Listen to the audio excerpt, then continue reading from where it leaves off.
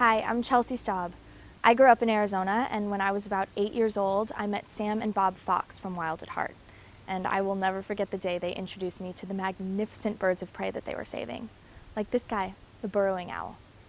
And since then, Wild at Heart has relocated over 1,900 burrowing owls and installed over 5,000 burrows throughout Arizona.